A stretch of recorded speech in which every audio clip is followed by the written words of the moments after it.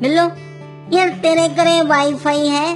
ਕਿਹਦੀ ਵਾਈਫਾਈ ਹੈ? ਇੱਥੇ ਤਾਂ ਕਿਸੇ ਦੀ ਵਾਈਫ ਨਹੀਂ ਆਈ। ਮੈਂ ਤਾਂ ਸਵੇਰ ਦਾ ਬੈਠਾ ਹੈ? ਯਾਰ ਉਹ ਵਾਲੀ ਵਾਈਫਾਈ ਨਹੀਂ। ਹੋਰ ਕਿਹਦੀ ਵਾਈਫ ਆਈ ਦੀ ਗੱਲ ਕਰ ਰਹੇ ਹੈ ਤੂੰ? ਯਾਰ ਜਦੋਂ ਵਾਈਫਾਈ ਖੁੱਲਦੀ ਆ ਸਾਰੇ ਚਿੰਬੜ ਜਾਂਦੇ ਆ।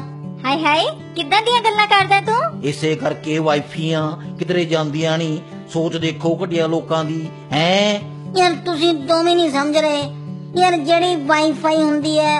ਹਾਂ ਹਾਂ ਜਿਹੜੀ ਵਾਈਫਾਈ ਹੁੰਦੀ ਆ। ਯਾਰ ਉਹ ਆਫਿਸ 'ਚ ਤਾਂ ਮੁਫਤ ਹੁੰਦੀ ਆ।